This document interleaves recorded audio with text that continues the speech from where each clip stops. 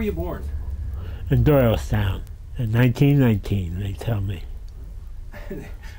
Uh, I uh, went to public school in Doylestown, and then I uh, had uh, three years at Buckingham Penn School, and from there went to uh, George School for high school. when did you get involved in the railroading? This is this is early as I can my memory span goes.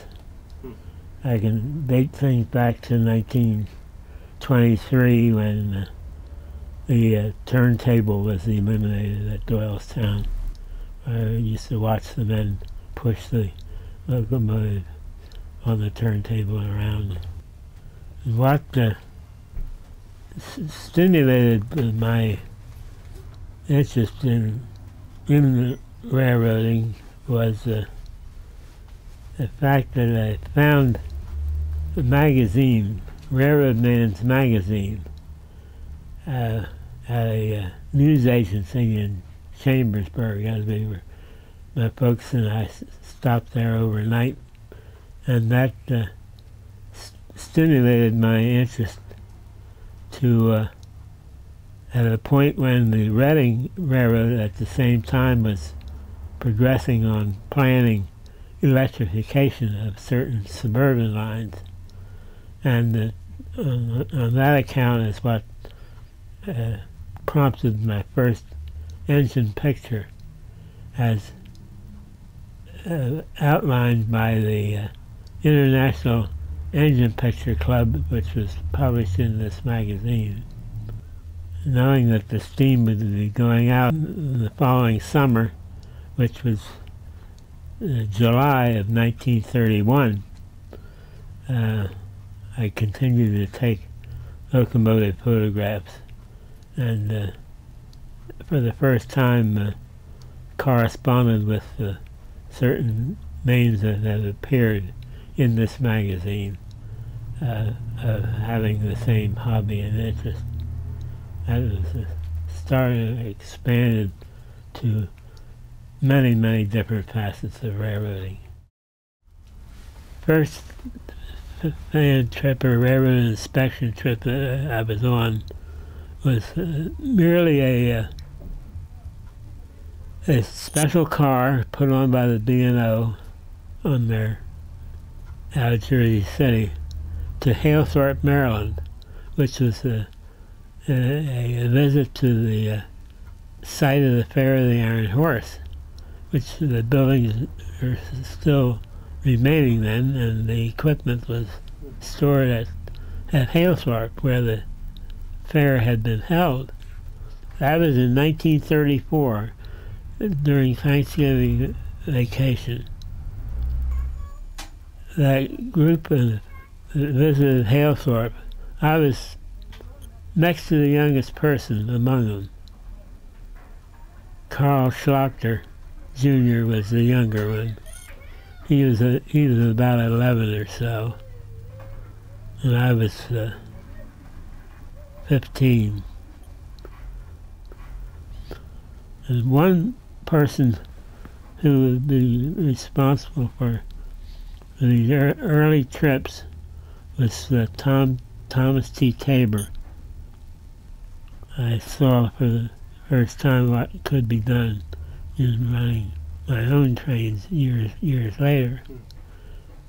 Those people like, like Tom Taylor, who was a pioneer in, in certain phases of the railroad hobby that uh, few few people uh, did.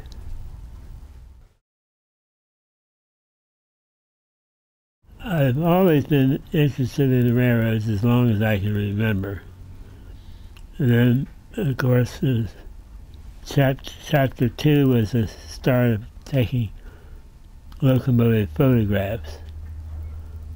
And of course, among, among, among us all are the people, the different people that you have met. Some railroaders, sometimes officials, sometimes the track walkers. Uh, if I hadn't had the experience of knowing that the man who bought the Lehigh Valley inspection engine, the Dorothy, if I hadn't actually seen seen his Dor- the Dorothy under steam and under under uh, operation, I wouldn't have been as likely to go into the trouble of uh, buying some myself. And I was surprised that I was actually one of the very, very few who were, were buying steam locomotives.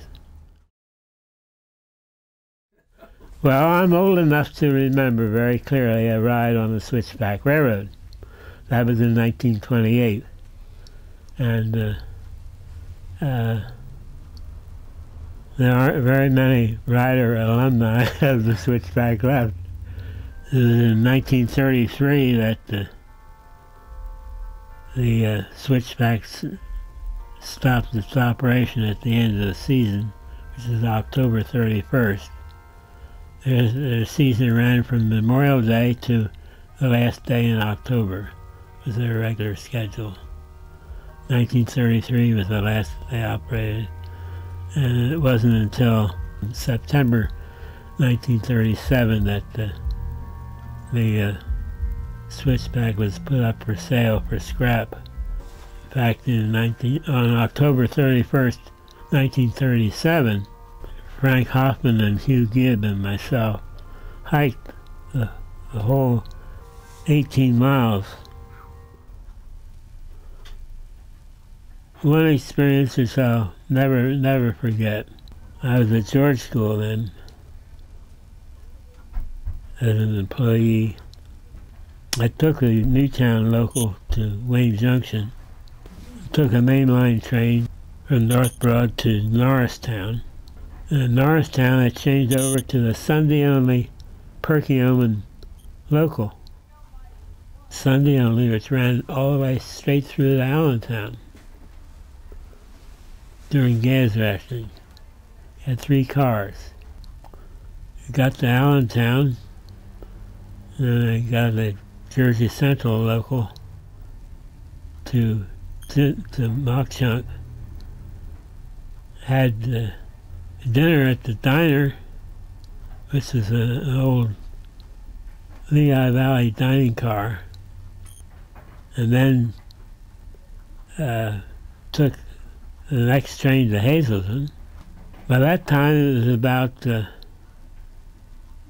uh, four o'clock in the afternoon. I wanted to get the next train back. He had five cars. He had transferred uh, two of those cars to the uh, to the Reading at Bethlehem for their Sunday connection. Went into to uh, Reading, Reading Terminal. While I was there, waiting for the Sunday only Newtown train, which left at 9:30, one of the engineers, whose nickname's Bellringer, Sammy Bellmeyer, said the Pensies had a bad wreck at Frankford Junction. He said everything is going around it. So, uh, anyway, I took that Newtown local and got off at George School where I was working, got on my bicycle, and uh, went to Woodbourne on the New York branch of the Reading between uh, between West Trenton and Langhorne. That's where the Trenton cutoff crosses over top of the Reading tracks. So you can see the trains of both railroads at the same spot. There was one train had a Lehigh Valley engine on it, and I heard, heard him whistle down down the down the track there, and I said to myself, "That's Whitehaven." That's Whitehaven. That sounds like White. sure enough, it was a Lehigh Valley Pacific pulling a GG1 and about 12 or 14 cars. In fact, every other train was a, a GG1 a passenger train. Several L1s, 282s on pulling troop trains. Troop trains were going toward New York, and there were two, I'm sure there were prisoners' trains coming this way with old B&A equipment and Boston and Maine equipment like Strasburg uses. Because those cars were lit. There was a soldier in uniform with a Tommy gun at each door.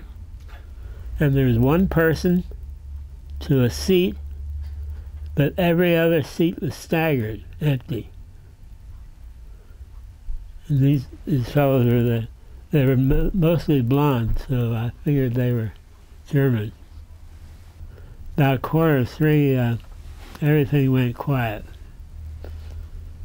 And the section man came out. And he says there must be something important going to come up because I've been instructed to put the locks on the baggage trucks in front of the station at Woodbourne. And then the Jersey Central Mikado came through by itself, a light engine, and they ran usually about five minutes ahead of the special, whatever it was. There were six cars on it, all wasn't a speck of dirt on them. Canadian, all all six were Canadian Pacific in maroon. And I read in the paper the next day that Churchill had arrived in Washington. so that was that was the the night to remember. How did you get started with the rail tours and uh, the steam engines? Well, that was mostly uh, inspired from the Reading Iron Horse Rambles, uh, which the first one of which was operated in October of 1959. I was closely associated with with the Rambles as a freelance person. One thing I did for the uh, with the Rambles was what I call I wrote the whistle script, which was a suggestion of whistleblowing at places other than required. And the idea was make the most of public relations along the countryside, as well as to the hearing of the passengers. Wouldn't really tire of the whistle. In fact, some said that the, that's what they came to take the ride for, was to hear the whistle blow.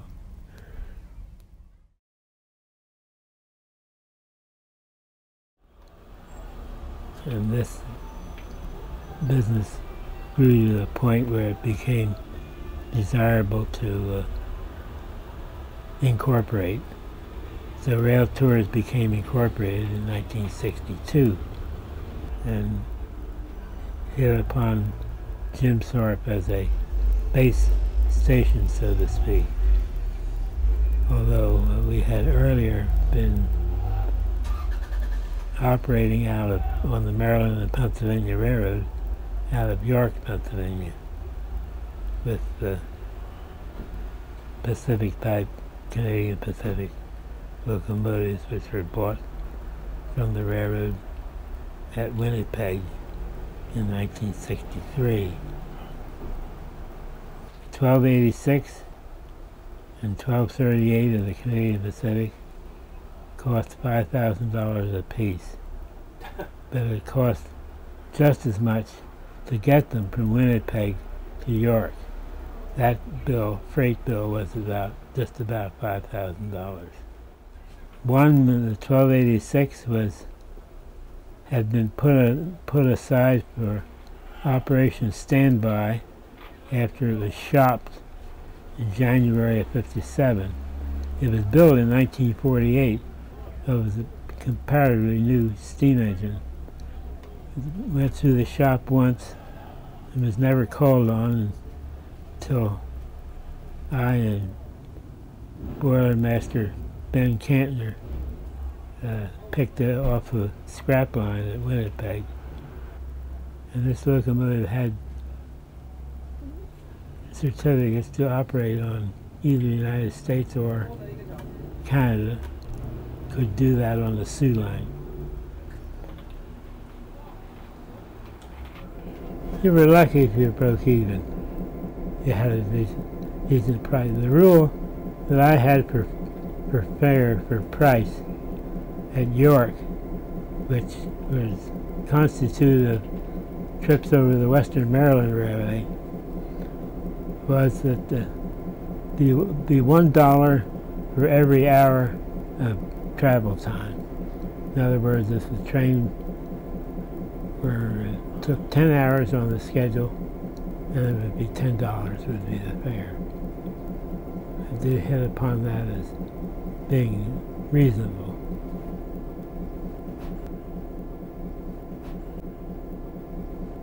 Well, that varied a great deal. Uh, uh, from York to Hagerstown, Maryland, 79 miles, a round trip. Uh, it was run around between 25 to 2800. And uh, of course, bearing in mind that also the Western Maryland people invited me over to run on their track. And I met the met the Western Maryland people quite by accident. I was watching water in the 1286, which was stationed on the on the Maryland Pennsylvania Railroad at York on Memorial Day morning, and there were two gentlemen came around with very expensive cameras, and uh, they asked me, "Are you George Hart?" I said I was. And it was George Lalick of the Western Maryland, and it was Russell Wilcox of the Pennsy. And uh, George Lalick said one of the things he said to me was uh, after he had looked the engine over, he said, uh, "Did you ever think of running offline, off to Maryland and Pennsylvania?" I said, "Oh no," I said, uh, "the railroads wouldn't be interested in that." Well, he says, I'm in the position I happen to know that we are. and that was the start of my offline trips on the Western Maryland and other places also.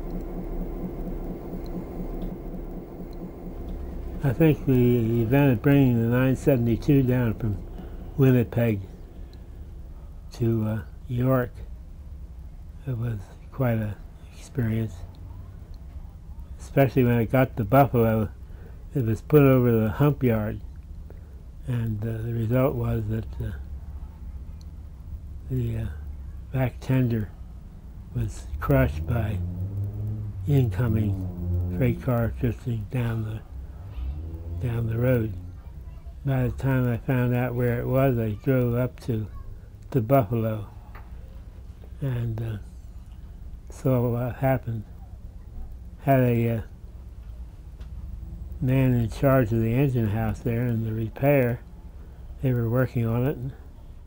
He gave the uh, train master, I guess it was, a tongue lashing, which I'll never forget.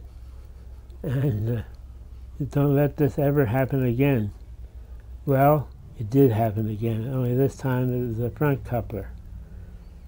Well, the roundhouse foreman was fit to be tied.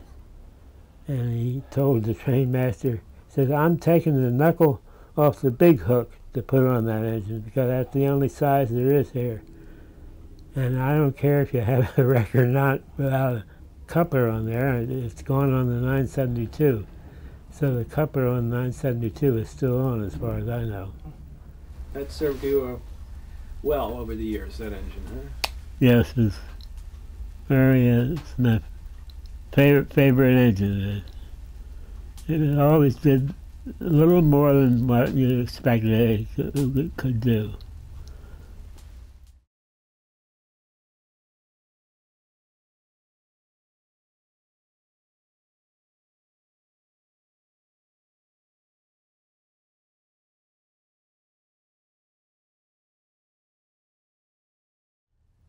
And the uh, museum was being planned e- extensively in, in the middle of 1960s.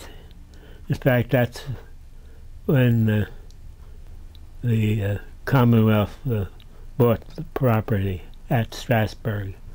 I was involved in some of the discussions as to the location of the of the museum, whether it would be uh, in Altoona or uh, located along the East Broadtop or Strasburg.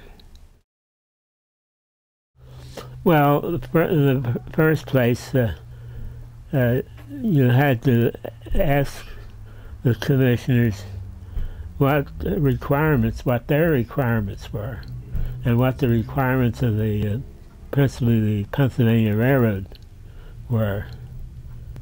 One commission requirement was that they wanted the museum to be located at an operating steam operation, which was East Broadtop and Strasburg. So that was one thing uh, which, of course, was not in favor of Uh, one of the requirements of the Pennsylvania Railroad was that it should be located along the uh, main line of, of their railroad between Philadelphia and Pittsburgh, some, somewhere, anywhere between those, those places, which Williamsport, for instance, had uh, pegged itself for the museum site. Well, that would throw out Williamsport as a, a qualified location. As far as I was concerned, it was between East Broadtop and Stras- Strasburg because uh, Altoona could not qualify. It, it had no established steam operation. Uh, you were named the first director, I believe. Yes. Yes, I was founding founding director of the museum. And did you have any facilities when you were first came into office? I had a, de- had a desk, and uh, uh, the office actually was first at the in the uh, historical museum commission uh, headquarters at Harrisburg. Uh, was there until uh, 19. Uh, 75. The, the first thing that was uh, put in the new, new museum was a turntable. That was put in in 1970. 1975, the uh, main building was completed, uh, but uh, was opened in, in about 36 hours' notice. Uh, uh in 1975. I was appointed uh, in uh, June of 1969 and was the first employee uh, uh, of the uh, of the museum site. The, the second person hired was a security officer who was always on the outside. There was no building, but some of the locomotives had been placed on the property, and uh, uh, the third person was a maintenance maintenance uh, engineer. uh, who was, Maintenance of the engines or, uh, or maintenance of the buildings and grounds? buildings and grounds. Which there was no building at that point. No. That's right.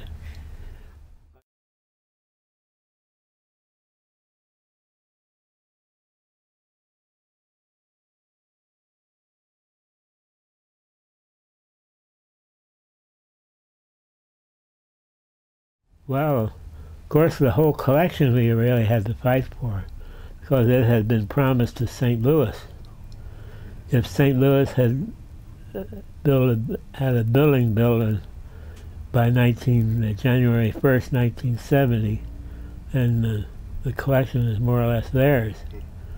But uh, then uh, uh, came toward that time, and there were apparent, no apparent signs that the building was underway.